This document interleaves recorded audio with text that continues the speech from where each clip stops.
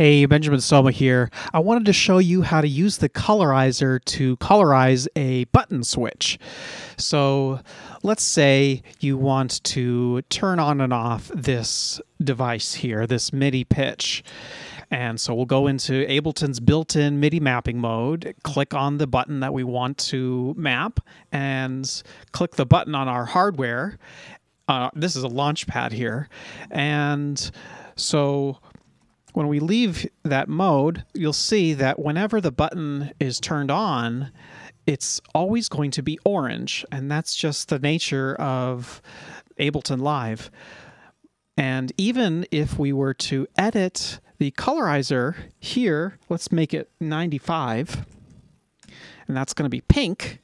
But if we were to press the button again, it's going to go back to orange. So what do we do?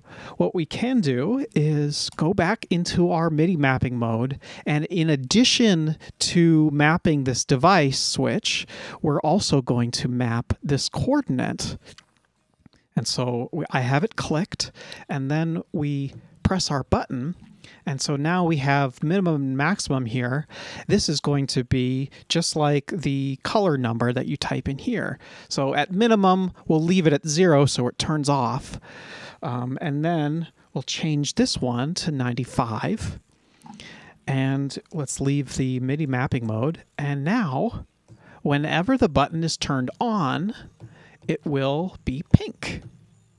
So this is great if you want to have a whole bunch of different uh, switches that are all different colors and that way you can remember which ones they are. And I just wanted to show you that the turning on and off of this color and the switch are they're two independent processes. So um, if you find that they're out of sync, like this pink is on, but this is this switch is off, um, all you need to do is use your mouse to click it and that way the color and the switch are in sync with each other.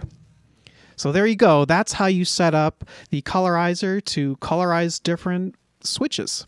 So you can find out more about me and the colorizer at benjaminsoma.com. Enjoy.